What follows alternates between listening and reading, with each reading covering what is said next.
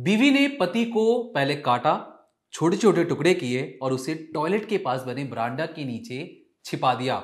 छिपाया भी इस तरीके से कि पहले दफनाने के बाद उसने उसके ऊपर सीमेंटेड किया, उसे टाइल से छुपाया और पूरे क्राइम सीन को कुछ इस तरीके से साफ़ किया कि पुलिस को उस डेड बॉडी पर पहुँचने तक तेरह साल लग चुके थे, फिर भी बीवी अपना जुर्म कबूल नहीं कर रही थी। क्या थी पूरी कहानी? चलिए अब आपको बताता हूँ। दरअसल महाराष्ट्र में एक जगह है दांडीपाड़ा बॉयसर यहाँ पर एक महिला नाम है, उसका सरिता, तैतालीस साल उम्र थी जब उसकी गिरफ्तारी हुई 2017 में। ये एक सेक्स रैकेट चलाती थी, या कहें कोठा चलाती थी, जहाँ पर अक्सर कई महिलाएँ वहाँ पर उसके साथ काम करती थी। पुलिस को एक दिन टिप मिलती है कि गैर कानूनी तरीके से एक कोठा चलाया जा रहा है, जहाँ पर ज़बरदस्ती कुछ महिलाओं को बुलाकर उनसे देह व्यापार का काम करवाया जा रहा है।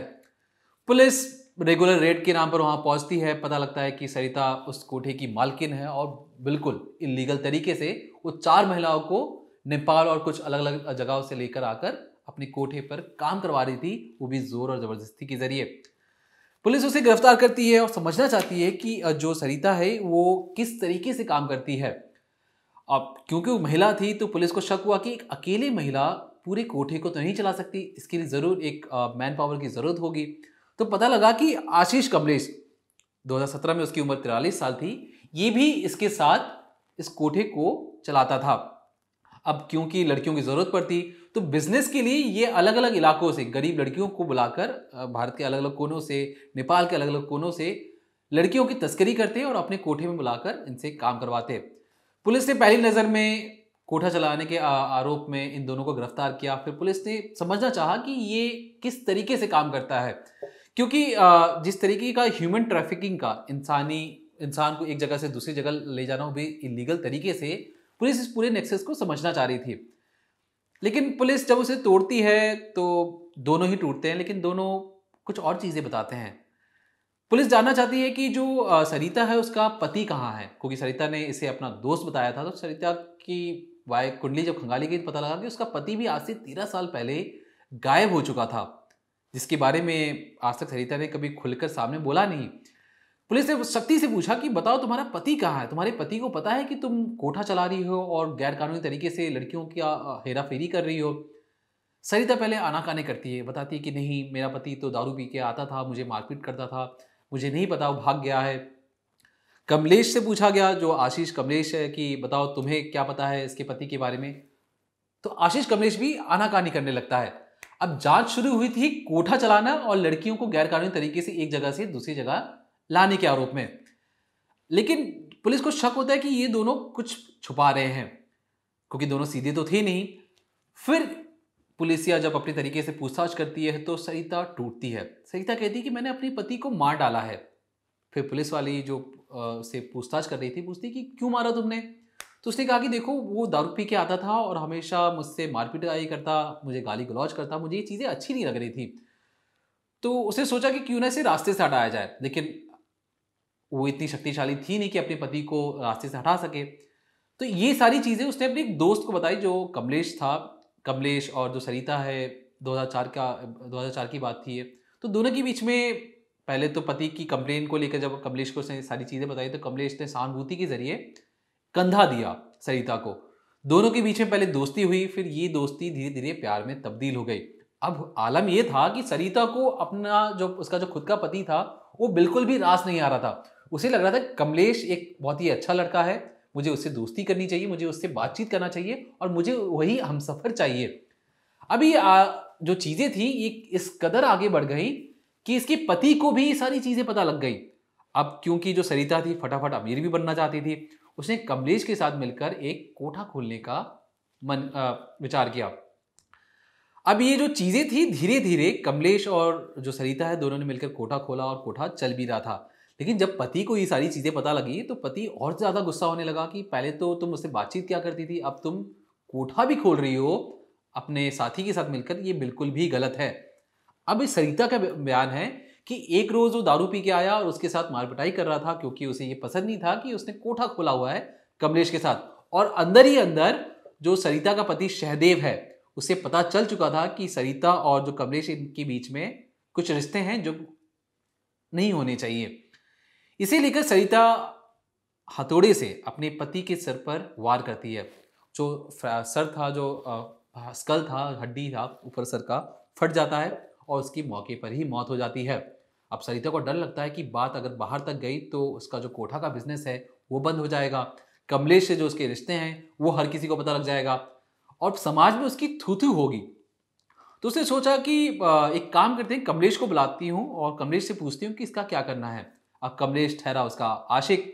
कमलेश बहुत दिनों से फिराक में था कि कब सरिता का पति मरे और वो उसके साथ एक हो जाए। जैसे ही कमलेश को बताती, कमलेश प्लान बनाता है।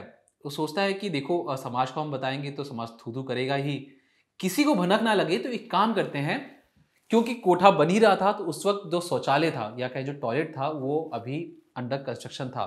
उसने चुपचाप उसी टॉयलेट के बगल में जो सामने बरंडा होता है, वहाँ पर पति को पहले टुकड़े किए, फिर उसके अंदर दफना दिया।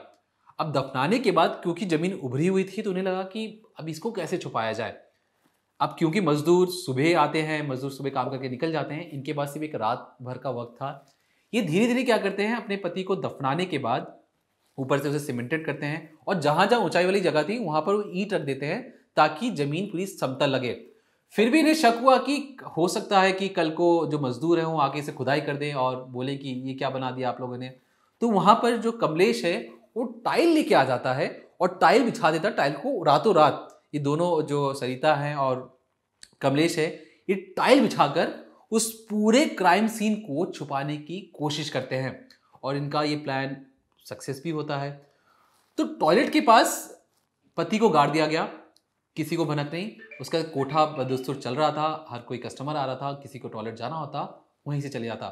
तो एक पति जिसकी बीवी ने उसे मारकर अपने ही कोठे के टॉयलेट के पास में छुपा दिया, किसी को भनक नहीं लगती लेकिन बाहर जब लोगों ने पूछा कि तुम्हारा पति कहाँ गया तो सरिता कहती कि पता नहीं, मैं भी अपने पति को खोज रही हूँ, शायद हो सकता है वो किसी काम के सिलसिले में बाहर गए।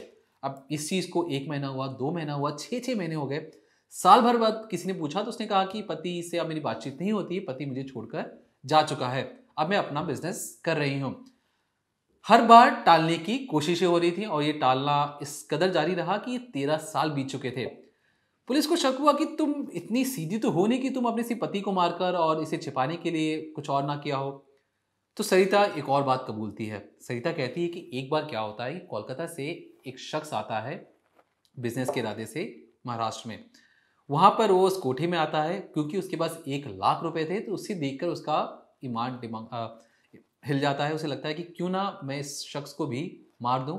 क्योंकि पति के बारे में किसी को पता चला नहीं। तो अगर मैं इसे भी मार दूँ तो कोई इसके बारे में सुध लेने नहीं आएगा। और कोई भी अच्छा परिवार कोठे में जाकर अपने परिवार के सदस्यों को नहीं ढूंढेगा। तो इसी, उसे ये सारी चीज़ें पता थी। तो उसने ये बात भी कबूली क्योंकि एक लाख रुपए देखकर उसका दिमाग हिल चुका था, ईमान हिल चुका था तो उसने उस शख्स को भी मारकर उसी कोठे में दफना दिया। अब पति तो मिल गया टॉयलेट के पास में, जो हड्डियाँ आपको मैंने आपको शुरुआत में दिखा कि इंसानी हड्डियाँ हैं ये उसी शहदेव की हड्डियाँ हैं जिसे 2004 में मारा गया था। ये दोनों जो सरिता और कमलेश ने 2017 में अरेस्ट हो चुके थे।